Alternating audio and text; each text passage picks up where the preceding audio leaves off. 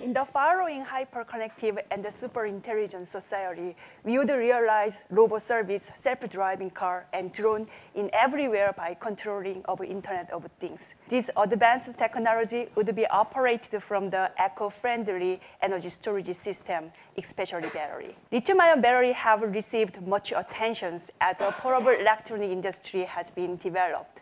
However, during last 20 years, the battery size has very slowly increased, which cannot compete with the memory size now. Nevertheless, the technology is continuously growing up and also moving toward a new market, especially for automotive battery. The scale of the battery market for hybrid vehicle has incredibly increased during the last five years. Well, the challenging is driving range, which is still less than 100 miles, very far away from the target of the 500 mile, which we'll achieve for the full battery powered car we call electric vehicle. So the current and tentative way to increasing driving range is just loading very large package of the battery series to the all the bottom of the car, which are very expensive and also heavy. Therefore, it is highly required to invent the new battery system from the new electrochemistry, which will fulfill more than five times higher energy density than the current one. The lithium oxygen battery is one of the promising candidates. Oxygen gas is green, abundant, and lightweight energy source. When the battery is breathing in during discharging, the car is driving, and the driving range is more than three times longer than the current one. Inside of the battery, oxygen gas and lithium produce the solid state of the lithium peroxide. When the battery is breathing out during electric charging, the lithium peroxide can decompose and oxygen gas evolved. This breathing in and out process can be repeatable. Let's look at the, our real image of the electrode. We have used the carbon nanotube electrode. There are many voids for the oxygen incoming and also outgoing. After discharging, the toroidal shape of the lithium peroxide can be formed. Unfortunately, they are very big and the insulating property. So they can decompose very slowly and oxygen evolution rate is also very slow. We have tried to resolve this challenge by the tuning of the lithium peroxide morphology.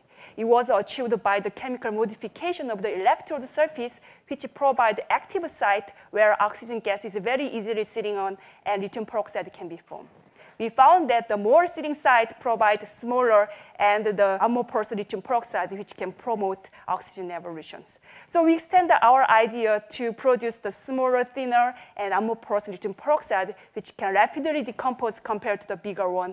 And such idea allow for the fast charging, which is one of the very important issue in electric vehicle. The charge and discharge can be also cycles very long-term period the catalyst, for example, hexagonal nanostructures nickel oxide can enhance the recycling stability. There are still much effort required to getting lower the technical uh, hurdles which will achieve in the very near future. The next battery I would like to introduce is operated from the iodine electrochemistry. There are already commercial lithium iodine batteries which are widely used for the cardiac pacemaker. However, they are not rechargeable. Very interestingly, when the iodine meets water, it can be the source of the rechargeable battery. Iodine is exists as a triiodide in water with excess iodide, and its high solubility guarantees long-time operation. The dark brown color of the triiodide solution becomes transparent during discharging, and this color goes back during the electric charging. So it is very easy to find the state of the discharging and the recharging from the, this, the color change. In this liquid battery, the, all the reactant and products are soluble molecules. So in this configuration, the battery can be very feasibly scaled up with the liquid reservoir and the circulating pump. In addition, when incorporating with the very low potential of the redox molecule, the battery can be the lithium-free and the safer energy storage system.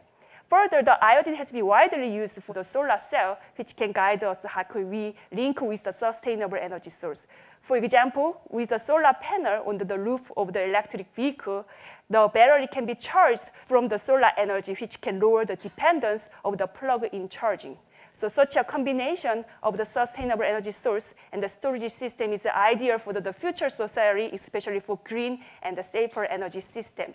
The battery should be developed further for the, especially the long-lived robot and the long driving range of the vehicle, which support the successful, the first industrial revolution in the coming era. Thank you very much.